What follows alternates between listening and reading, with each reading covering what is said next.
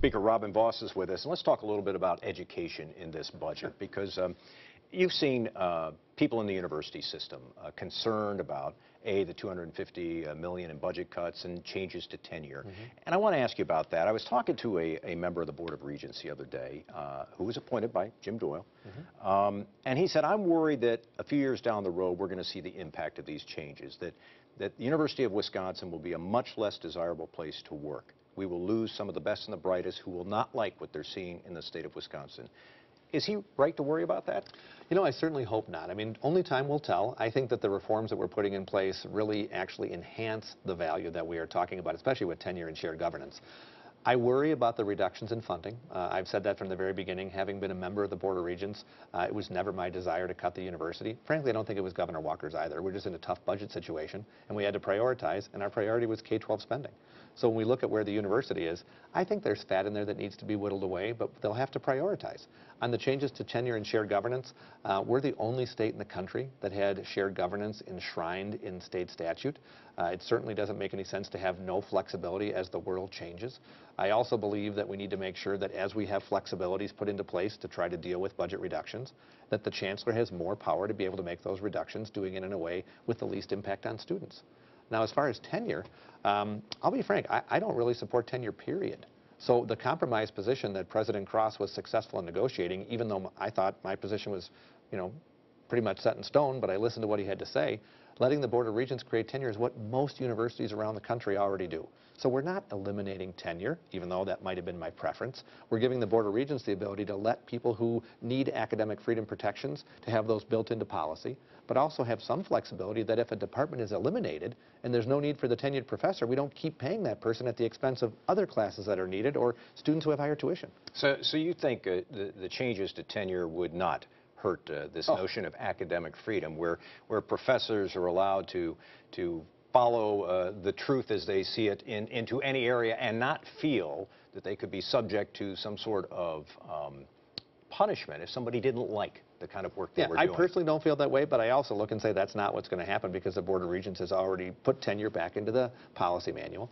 So my biggest fear is protecting The board's going to be all Governor Walker appointees, though. I mean, in a, a very short period of time, pretty yeah. much. Um, and they all voted for these tenure protections. They actually led the effort.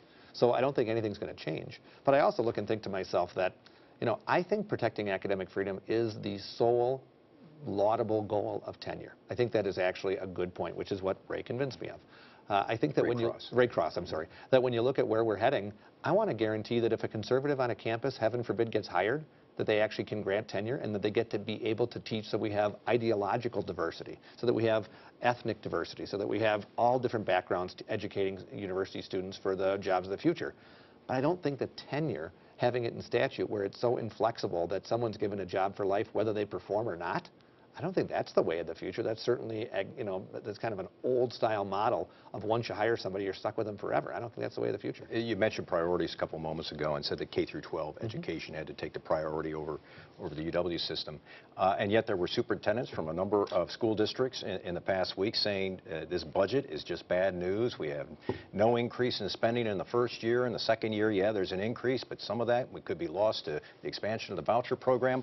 What's your response to those superintendents who say you're hurting our school districts. Well, I understand that their job is to advocate for their uh, school districts, which I respect them for. But those, many of those same superintendents came to us saying, if you could just restore Governor Walker's cut and give us an increase at all, it would be a major victory. Well, that's what we did. We actually restored the entire reduction in the first year. That was $150 per pupil. And we put more money in the second year of the biennium so that they would have a cost of living increase, a little bit less than that, but an increase for expenses. That's what they asked us for, and we delivered. So rather than looking gift horse in the mouth, I think they're busy trying to stick with their ideology, which is really too bad. Um, I think that sometimes you get what you want, and sometimes you get as much as you can. And they are definitely in the second category, but still complaining. Final question. Do you think we're out of step with, with other states around the country who seem to be putting even greater uh, funding into higher education and into K through 12 education? No, certainly not. I mean, I would, would I prefer to spend more on K-12 education? Yes, I would. Um, frankly, that's why we scrapped through the budget. We tried to find every single area that we could gather savings together, change how we operate, and plow that money back into K-12. Would I prefer that we had an opportunity to invest more in the university? Of course. But we need to have a growing economy. Luckily, our revenues are increasing.